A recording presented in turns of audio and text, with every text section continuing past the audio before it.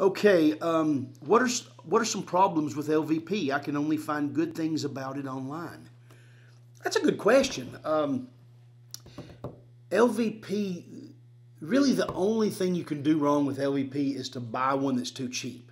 If you buy one of the really low end products, like a six or an eight mil wear layer, they're probably not going to have a balancing layer, so they they can warp, especially with direct sunlight or extreme moisture uh, or extreme temperatures. Um, if you'll buy at least a 12 mil floor that's five millimeter thick, you you won't have any problem. What ca- what are some problems you can have, Jason?